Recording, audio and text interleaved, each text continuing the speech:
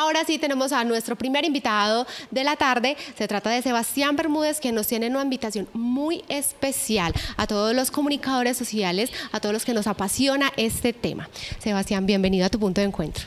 Hola Suani y hola a todos ustedes. Gracias por abrirme en este espacio y por recibir la información que más adelante les vamos a estar contando de un taller de periodismo para todas las personas que quieran asistir. No, y con los personajes que va a ser este taller.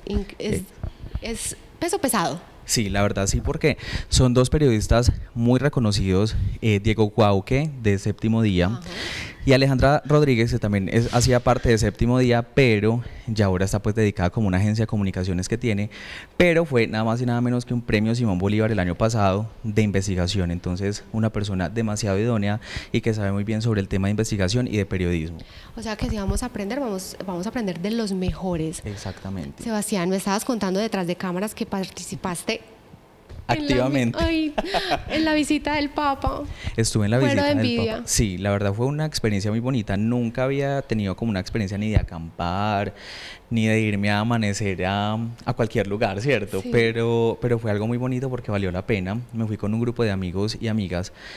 Desde el viernes a las 4 de la mañana estábamos allá, eh, organizados en la fila para el cuadrante. Entonces pues esperando todo el día en oración, conociendo personas de todas partes del país, hasta de Colombia, mexicanos, venezolanos, panameños, que estaban a la expectativa de cómo iba a ser lo del Papa. De Ecuador, yo vi entrevistas, es que había mucho extranjero. Y sí, había que definitivamente madrugar demasiado para poder alcanzar la entrada. Las puertas se cerraban a las 7 de la mañana y los que quedaban por fuera les tocaba devolverse para la casita verlo desde televisión. No, y lo más complejo fue, dos amigas y fueron súper aventureras y dijeron, no, nos vamos desde el jueves en la noche.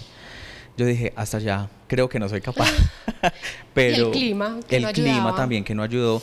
Eh, afortunadamente el viernes estuvimos todo el día bien, en la tarde llovió un poco, luego salió el sol y cuando ya ingresamos, la noche iba perfecta hasta las 3 de la mañana que empezó a llover, entonces póngase carpas, póngase...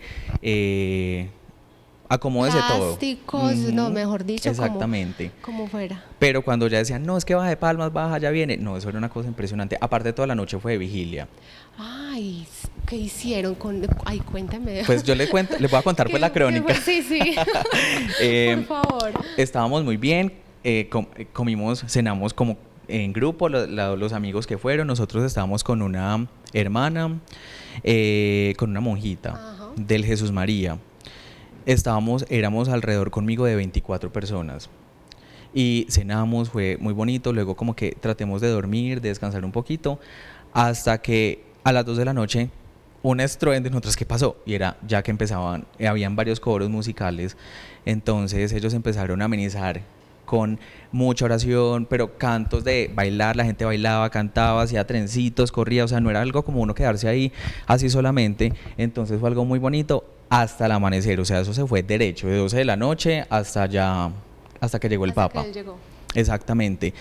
Pero como le digo, uno ya lo cogía como el sueño, entonces me voy a acostar un momentico, pero no a dormir, sino como a descansar un poco la espalda, la voz, hasta que a las 3 y media de la mañana el agua. Pero no fue impedimento para estar bien porque entonces todos éramos como pendientes de cada uno, no hubo ni, ni riñas, ni peleas, ni que uno dijera hay que, estar pendiente de la persona al lado. Para nada, algo totalmente organizado, algo que hay que aplaudirle pues a los organizadores.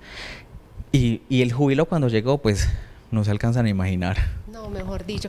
Yo me imagino, aparte de la organización y la gente que se presta también como para estar en armonía con los demás, porque entre sí pues eran grupos de amigos, pero también había mucho desconocido y de, y de pronto la gente desconfiar de uno que el otro, ahí no había ni, ni siquiera desconfianza. No, incluso nosotros nos hicimos muy buenos amigos de unas personas que venían de Yarumal dos chicos, uno productor y otro era, eh, tenía como un trabajo allá pues en el pueblo y súper queridos, súper contentos.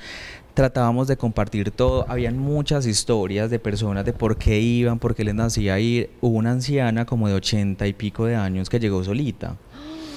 Le preguntamos, eh, ¿quién es usted? Pues, ¿qué, eh, ¿qué, está haciendo? Pues ya sabemos que va a ver al Papa, pero solita no, que ella, ella se, se hacía llamar, dice que la mm, como una misionera blanca, iba todo de blanco, no era hermosa, pero estábamos preocupados por ella.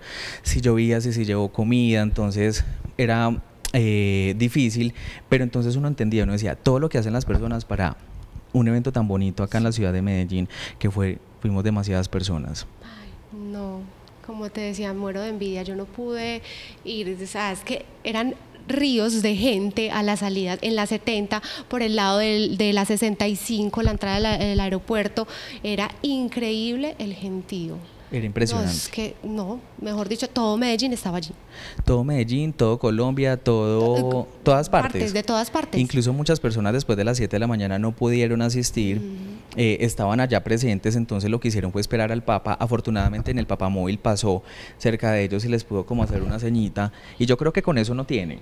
Sí, con solo verlo así de pasoncito, ya uno siente como esa, ay no, Dios mío, increíble, Sebas, qué experiencia tan maravillosa. Muchas gracias, sí, fue una experiencia muy bonita y pues eh, incluso tiene mucho que ver con la frase que ustedes ahorita mencionaban en el programa y el papá es muy insistente como en eso, uno saber, y todo el mundo siempre lo ha dicho, hay que pensar antes de hablar, medir las cosas el Papa dijo, todo entra, el demonio entra por los bolsillos, pero a veces sale de la boca, sale por la boca, entonces es uno mm, tratar de hacer las cosas bien eh, y no, no dejarse como llevar por el, rencores, por rabias. El Papa decía, tengan en su, en su mente a la persona que más quieren, a la que no, a la que no quieren tanto, a los que no creen que, que no te quieren, para orar por todos ellos y fue algo muy bonito.